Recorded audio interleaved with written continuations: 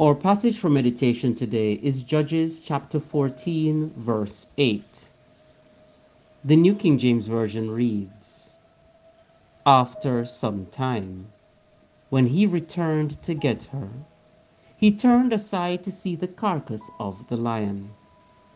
And behold, a swarm of bees and honey were in the carcass of the lion. Our title Sweet in an Unlikely Place. Good morning. Samson, the strongest man who ever lived, had strength because the Spirit of the Almighty God was with him. That strength had him tear a lion apart with his bare hands. He returned to the carcass and found that bees inhabited the unlikely area and did what they do best produced something sweet.